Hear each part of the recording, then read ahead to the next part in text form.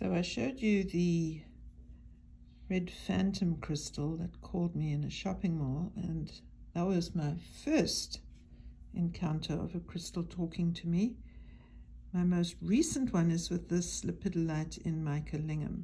This one gives me lots and lots and lots of information.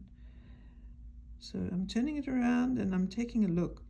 And I'm looking for a particular image that appeared while I was working with someone was an image of a dress. It's gone because I'm not attuned to that person at this time, and nor is the crystal.